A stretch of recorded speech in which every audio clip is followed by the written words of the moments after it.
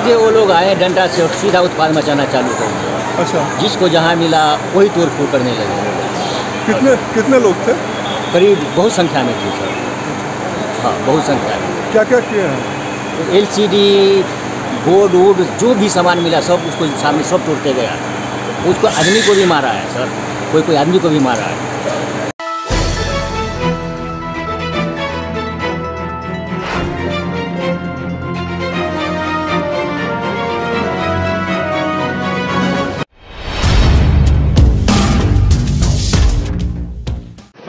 Bihar news से आप सभी को आदाब सलाम, प्रणाम। आज हाजीपुर जंक्शन में आए हैं, जहाँ पे अफरा तफरी का माहौल बना हुआ था सुबह से।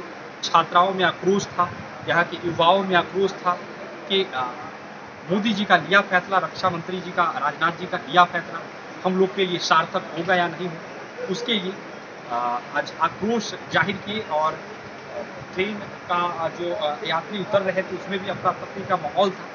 लोग यहाँ पे अफरा तफरी माहौल से जूझ रहे थे। हम चाहते हैं कि हम अपने नया बिहार न्यूज़ के माध्यम से आपको दिखाएँ और जिस तरह अभी यह हाजीपुर जंक्शन, जो पुलिस छावनी में तब्दील हो चुका है। आप देख सकते हैं कि पुलिस छावनी में किस प्रकार से तब्दील हो चुका है। जहाँ तक नज़र जाएगी पुलिस ही पुलिस पुलिस के हाथों में डंडा दिखाई देगा। ये आक्रोश, युवाओं का आक्रोश, छात्राओं का आक्रोश, कहीं ना कहीं आप हमारे वीडियो के माध्यम से देखिएगा कि बैताली जिला के हाजीपुर जंक्शन है।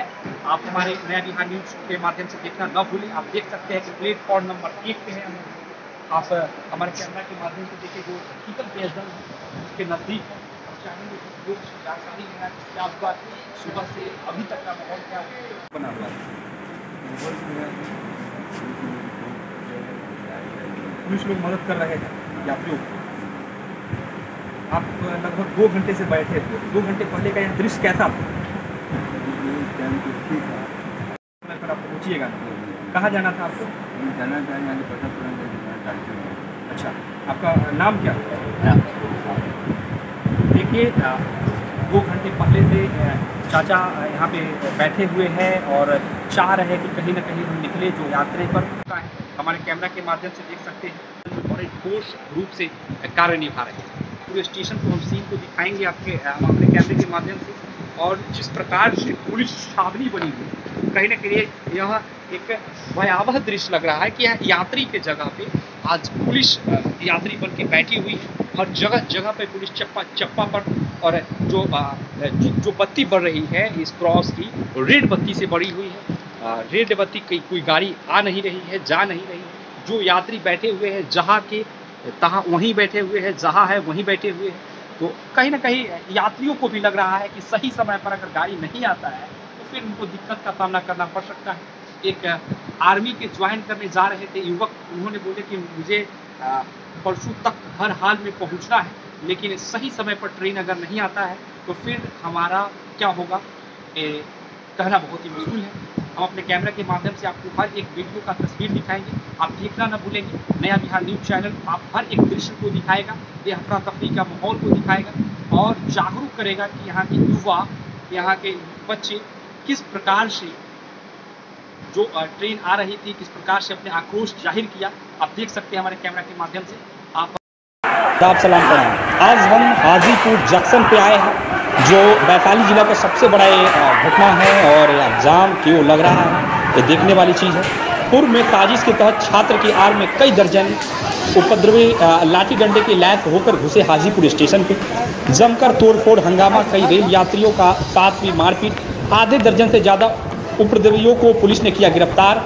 अग्निपथ योजनाओं के विरोध में युवाओं का विरोध लगातार जारी है, लेकिन हाजीपुर स्टेशन पर जो उपद्रव मचाया जा, गया है उसमें युवाओं के साथ साथ उपद्रवियों को भी शामिल होने की संभावना बताई जा रही है।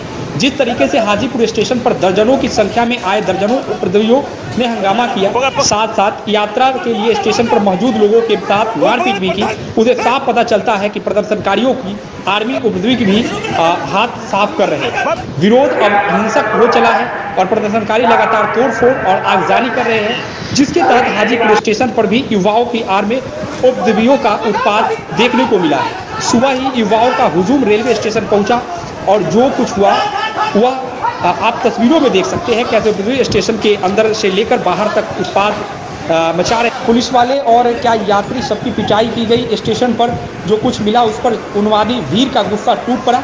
पूर्व मध्य रेलवे के सबसे सुंदर स्टेशन का हुलिया चंद मिनटों में ही पूर्णियों भीड़ ने बिगाड़ कर रख दिया। बताया गया है कि इतनी बड़ी संख्या में थे कि स्टेशन पर मौजूद जीआरपी और आरपीएफ के जवान मौका देखकर दुबक गए थे।